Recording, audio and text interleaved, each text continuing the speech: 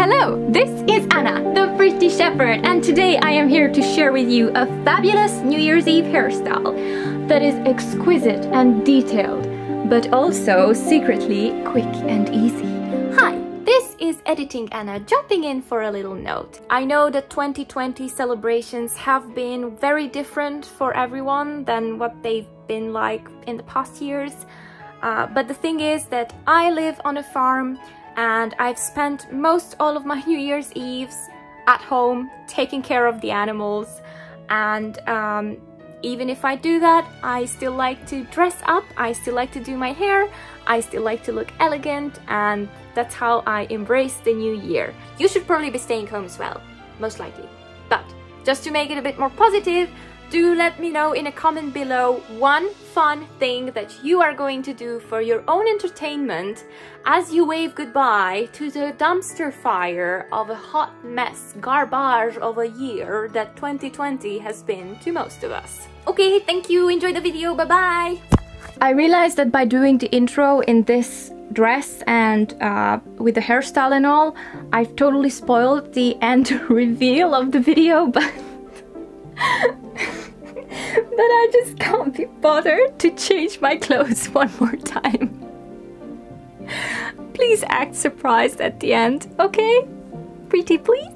True story about this hairstyle. I've discovered this type of bun back in my late teens. However, my arrogant and angsty teenage self got upset by the fact that I would get stopped on the street and asked who did my hair, if I went to a hairdresser, if this was some sort of special style, if I had spent hours upon hours to create it myself. And it really bothered me that there were other hairstyles which I actually did spend hours on and people just failed to notice it. So yeah, my arrogant little angsty self decided that I'm not going to wear this style anymore just because I got way too many compliments for it. Yeah, that's that's a teenager's logic for you. But anyway, now that I am closing in on 30, I am ready to embrace all sorts of hairstyles that take very little effort and very little time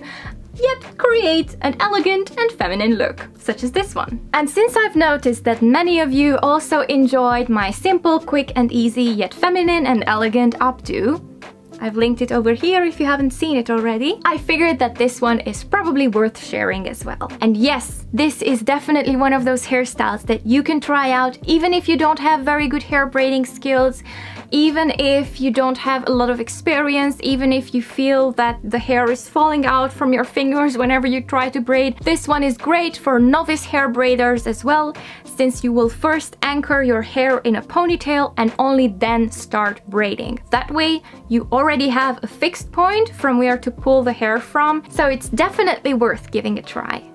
We're going to start by brushing our hair.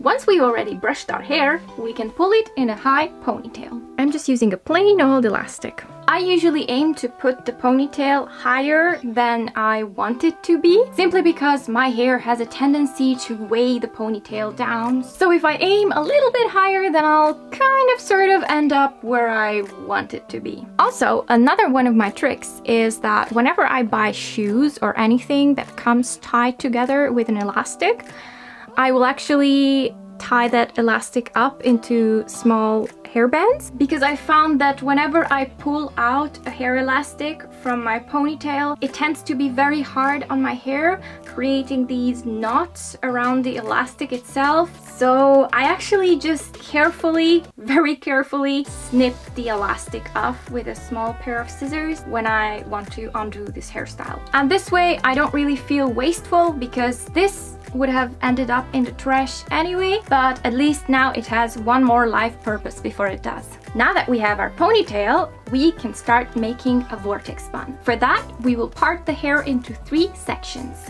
and create a rope braid out of each section. To create the rope braid, we will part the hair into two more sections, twist the section in one direction, and then turn in the other. So twist counterclockwise and turn clockwise.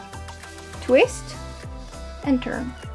Twist and turn. This is actually the most time consuming part of the hairstyle, especially if you have hair as long as mine, or longer.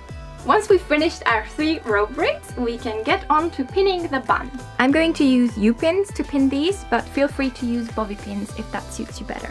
To pin a vortex bun, you need to lay down the first braid in half a circle and then pin.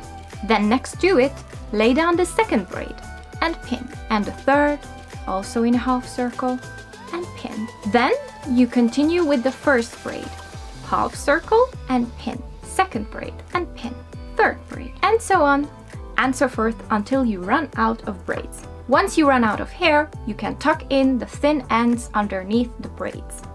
Before you're completely finished, make sure that you check the back of your head with a mirror as to avoid these little guys. They are the ends of braids and sometimes they will stick out like so and they look pretty ridiculous. So uh, we're going to pin that away. Did I just remember to turn on the lights and put my little squirrels over there as I was doing the bun?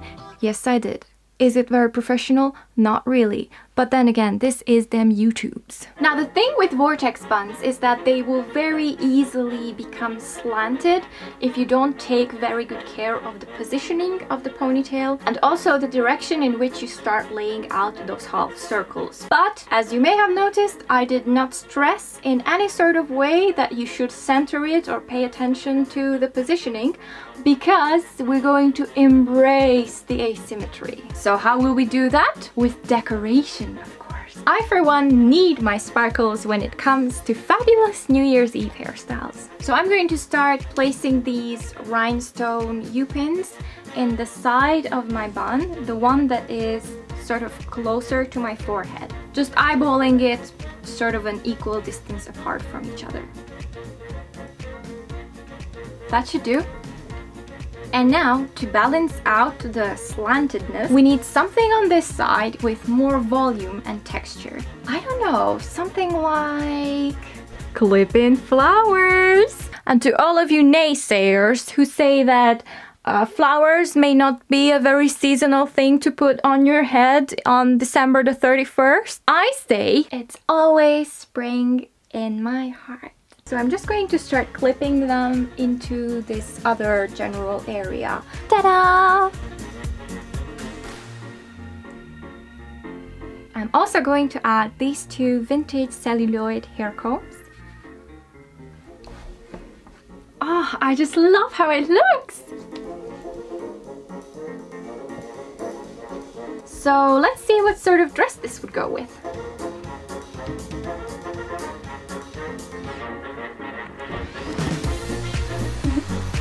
Now that we have the pretty dress going on, we need some jewelry.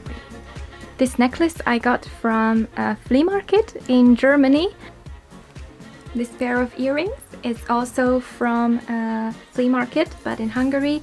And yes, I know one of the stones is missing, but to be honest, because of the striking design, nobody ever noticed it on me this bracelet you've seen before on my channel and some of you asked about it actually. It's a piece of japonisserie I probably butchered that, I'm sorry. Anyway, it's a piece of jewelry from around the turn of the century, maybe 1910, when oriental inspired jewels were in vogue and a lot of these beauties were imported to Europe from Asian countries. I know that there are some ethical questions about it, but this one is a very old piece of jewelry. It's one of the very few things that I ever bought from an actual antique store. But this one I just it really struck a heartstring for me.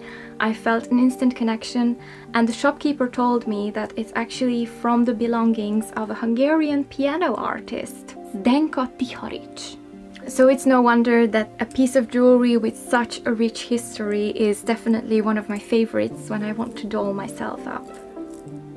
And with that, I am ready to embrace 2021 and all the pretty, new, magical and wonderful things that it's going to bring us. Hope that doesn't jinx it. Thank you so much for watching. I hope you enjoyed this video and if you did, do leave it a like. Do subscribe to my channel because I post videos every week now and they're kind of fun. There's sometimes about hair, there's sometimes about history, there's sometimes about folklore and sometimes it's a mishmash of all of them. So do subscribe if you enjoy a combination of any of those things. As for the hairstyle, as you can see, it's very easy to do. It's very hard to mess up because you don't even have to pay attention to the symmetry. It's very easy to spice up with any sort of hair accessory that you may have in your wardrobe. Or if you're one of those minimalist gals, then you can leave it as is and just go for the beautiful petal texture hair flower look.